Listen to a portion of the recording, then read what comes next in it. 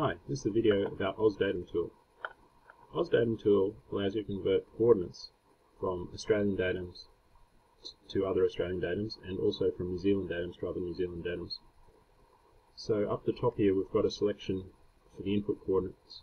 So they, the datums can be AGD 66, 84 or GDA 94. So these are the three common Australian datums. There's also some support for ANG, which is a datum used that used to be used on uh, military maps, inch to the mile maps. For New Zealand, there's NZGD 49, NZGD 2000, and for global uses, there's also WGS 84. So in the simplest case, in Australia, you may want to convert an old map coordinate from the, for example, AGD 66 datum to the current GDA 94 datum. So if you want to do that, you can type in the UTM coordinates in the easting and northing um, fields here, choose easting and northing as the coordinate type, and then press the convert button. So this converts the easting of 300,123 to 300,227.64 and the same with the northing. So generally the difference is about 200 metres in a northeasterly direction between these two datums. So what you can also do is you can choose to convert, for example, degrees, minutes, seconds, uh, degrees, minutes, or decimal degrees from one datum to another. Up here is the zone.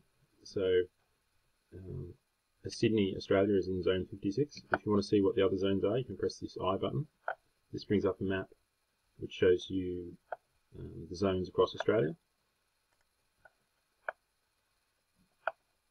Down the bottom here, just the southern hemisphere, northern hemisphere. Generally in Australia and New Zealand you'd want to be using the southern hemisphere. So for Australian users, it also there's also this button called Topo Map. What this allows you to do is for the currently entered coordinates, it automatically finds which uh, topographic maps, like physical paper maps, exist. Um, and it will allow you to choose one of those. For example, if I want to have a look at the 1 to 100,000 map of St Albans, it will bring up this page which shows me the extents of that map in latitude, longitude, and the easting northing range, and um, the current grid reference for my coordinates uh, on that map. Now if I press this button here, the map extents for that St Albans map will be shown on Google Earth.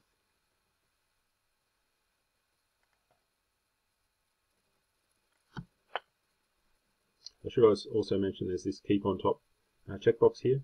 What that does is keeps the dialog on top of everything else. It's just handy to do that when you when you're viewing multiple things. Okay, so here's the extents of the St Albans map. So also when you convert a coordinate, you've also got the option here. Um, so you can copy the convert coordinates to the clipboard and then you just paste them into Notepad or an email, whatever. Um, you've also got the option to show the coordinates on Google Earth. So say I've got this coordinates from an old map, and I've converted it to DGA94, and I want to show it on um, Google Earth, I can say, um, you know, for example, home. That will bring up Google Earth when you press the button, and it will show you the location of that GDA94 coordinate. Of course, it converts it to WGS84 coordinates to show it on Google Maps, because that's what Google Maps uses. And there's the locations of that particular coordinate, which is just some random coordinate I've entered. So what you can also do with this program is you can choose to convert a file. So say you've chosen you, your input and output coordinate types. So you want to convert from easting northing to, let's say we want to convert to decimal degrees in GDA94. So then we bring up the convert file dialog by pressing the convert file button. Now what we can do is we can choose an input file. This has to be a either space or text, um, space or comma delimited file. In this case, I've got a simple little file, um, which I'll, I'll just just hang on, just cancel it. So I've got this simple little file that I've created previously, which just contains um, headings, easting, northing, altitude, and then the values that I want to convert. So those are my coordinates in AGD66. So then I want to I want to bring up the convert dialog. As you can see up the top here, it's got an abbreviated um, copy of what it's going to convert. So AGD66, easting, northing to GDA94, lat long, zone 56. Which is the input file. This shows me a preview of the first few lines of the file. Now, it allows me to select the number of header lines. In this case, there's one header line. Um, the type of file, comma delimited or space delimited. And the easting or longitude field is, in this case, correct. So that's in field 1, and the northing is in field 2. And that's just the, the precision I want to convert. Now I press convert. And it creates test.out. And this um, just so I'll open that up. And then you'll find that it's got the converted coordinates in the um, decimal degrees format that we selected. So that's how you do a, a file conversion. This um, button here is a zone tool. So if you want to, if you've got a, latitude, a longitude, for example, 140 degrees, and you want to see what zone it is, you just type it in and it shows you the zone. That's handy if you don't know what zone to put in at the top. It also shows you a few other things like the um, the range, minimum and maximum longitude, and the central uh, longitude for that zone. Also, we've got a convert units tool. So say I've got measurements from an old map, for example, in in yards, for example. So I've got 30 yards, I want to know how many meters that is. It'll convert it to the correct units. So, or 30 feet to meters. There, 9 meters. I think that's most things. Oh no, that's not, that's not all of it. So this button here expands or shrinks the dialog. This button here is preferences. So just briefly on the preferences, there's only a single preference here, which is to use the shift files when converting Australian datums. So currently I've got that enabled and on my um, in the folder where AusDatumTool is located there's these two shift files one for AGD84 and one for AGD66 so if the selected datum here is either AGD66 or 84 and my target is GDA94 it will use one of those shift files since I've got that preference ticked now what that does is it creates a more accurate result um, than using purely formulas alone. It's actually using a shift table, which gives you a lot better accuracy. So as you can see, when I convert that, I've got um, 227.64 as the, as the result for this thing there. If I turn that off, and do that conversion again, I've lost the precision, so it's 228 now.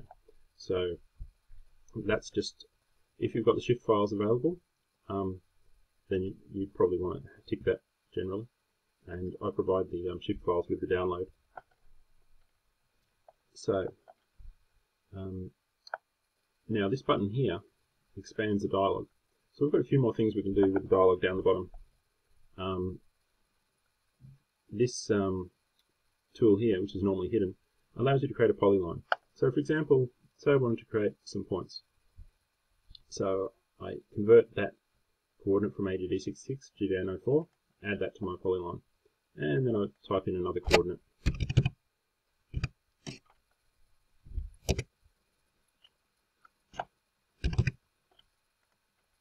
Add that to my polyline. One more.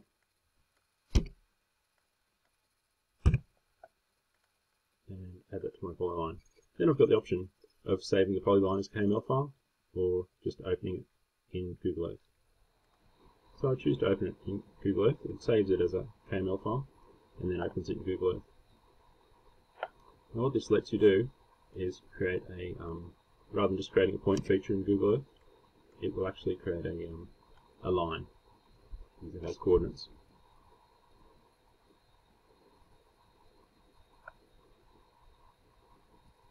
So there we go, there's those three coordinates that I've entered. So, for example, if you want to create a rectangle or some other shape using coordinates to bound an area, then you can use that tool. Then. But normally, um, if you don't need it, uh, if you don't need to use that option, you can use this contract option just to so the dialog takes less space on the screen. Okay, well, that's about all. Um, I won't go into the details, um, for example, of ANG or, or the NZ datums. Um, I'll just briefly show the ANG datum.